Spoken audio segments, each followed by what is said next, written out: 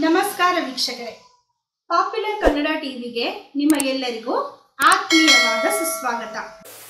ವೀಕ್ಷಕರೇ, ಸಂಬಂಧಗಳಲ್ಲಿ ಅತಿ ಸೂಕ್ಷ್ಮವಾದ ಸಂಬಂಧ ಎಂದರೆ ಅತ್ತೆ, ಸೊಸೆ ಮತ್ತು ಮಾವ, ಮಗನ ಸಂಬಂಧವಾಗಿದೆ.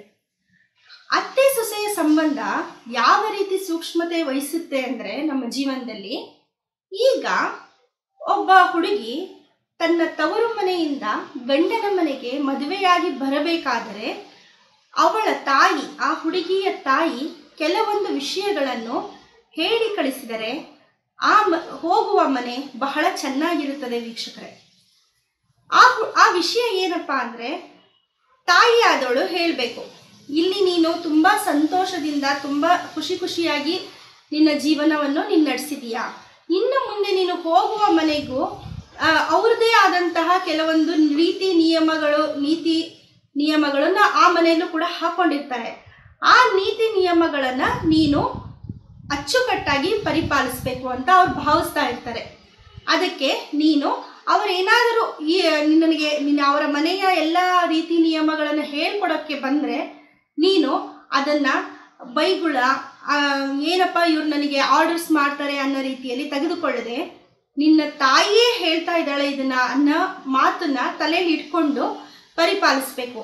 ಯಾಕೆ ಅಂತ ಹೇಳಿ ತಾಯಿ ಆದವಳು ಹೇಳಿ ಕಳಿಸಿದ್ರೆ ಆ ಮನೆ, ಹೋದ ಮನೆ ಆ ಹುಡುಗಿ ತುಂಬ ಚೆನ್ನಾಗಿ ಅಡ್ಜಸ್ಟ್ ಆಗ್ತಾಳೆ.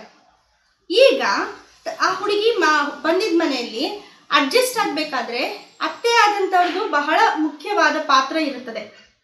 ಅತ್ತೆ ಆದವರು ಆ ಮನೆಗೆ ಬಂದ ಹುಡುಗಿಯನ್ನು ತನ್ನ ಮಗಳಂತೆ ಭಾವಿಸಿ ನೋಡಿಕೊಂಡ್ರೆ ಬಹಳ ಒಳ್ಳೆಯದು ಯಾಕಂದರೆ ಭಾರತೀಯ ಸಂಸ್ಕೃತಿಯ ಪ್ರಕಾರ ಭಾರತದಲ್ಲಿ ತುಂಬ ಬಹಳಷ್ಟು ಜನರು ಗಂಡಿಗಿಂತ ಚಿಕ್ಕ ವಯಸ್ಸಿನ ವಧುಗಳಾಗಿರುತ್ತಾರೆ.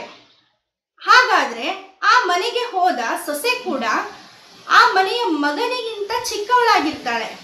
ಮಗ ನೋಡಿದಷ್ಟು ಪ್ರಪಂಚ ಕೂಡ ಸೊಸೆ ನೋಡಿರೋದಿಲ್ಲ.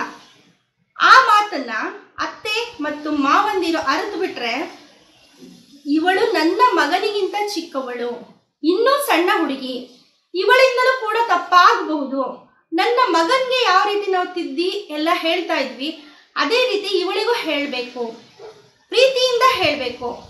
ಮಗನಿಗೂ ಪ್ರೀತಿ ತೋರಿಸ್ತಾ ಇರ್ತೀರಾ? ಅದೇ ರೀತಿ ಸೊಸೆಗೂ ಪ್ರೀತಿ ತೋರಿಸ್ಬಿಟ್ರೆ ಆ ಮನೆ ನಂದಗೋಕುಲವಾಗುತ್ತೆ. ಈಗ ಒಂದು ವಿಷಯ ಅತ್ತೆ ಮನೆಯಲ್ಲಿ ಬರುವಂತ ತುಂಬ ಕಾಮನ್ ವಿಷಯ ಏನಪ್ಪಾ ಅಂದರೆ ಅಷ್ಟು ದಿನಗಳ ತನಕನೂ ಅವ್ರ ಮನೆಯಲ್ಲಿರೋ ಮಗ ಯಾವಾಗ್ಲೂ ಅಮ್ಮ ನನಗೆ ಸಾಬೂನು ತಂದ್ಕೊಡು. ಅಮ್ಮ ನನಗೆ ಟವಲ್ ಕೊಡು. ಅಮ್ಮ ನನಗೆ ಊಟ ಬಡಿಸು.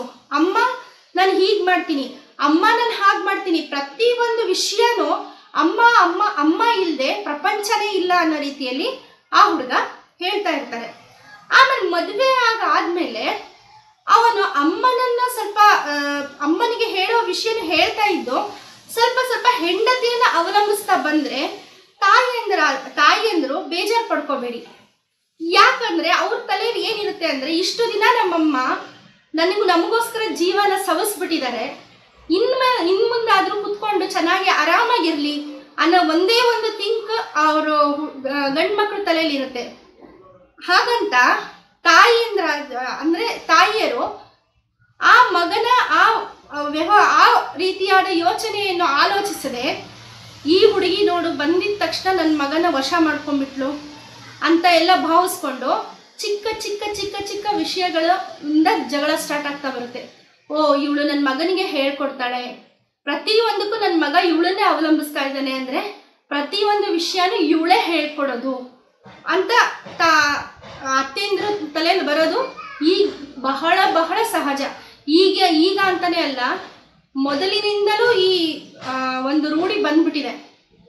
ಅದು ತುಂಬ ತಪ್ಪು.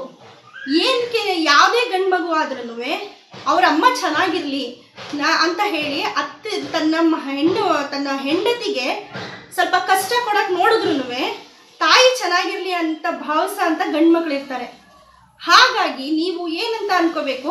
ನನ್ನ ಕೆಲಸ ಒಂದು ಸ್ವಲ್ಪ ಹಗುರ ಆಯಿತು ಅನ್ಕೊಳ್ಳಿ. ನನ್ನ ಒಂದು ಜವಾಬ್ದಾರಿನ ನನ್ನ ಸೊಸೆ ಹಂಚ್ಕೊಂಡಿದ್ದಾಳೆ ಅಂತ ಅನ್ಕೊಳ್ಳಿ.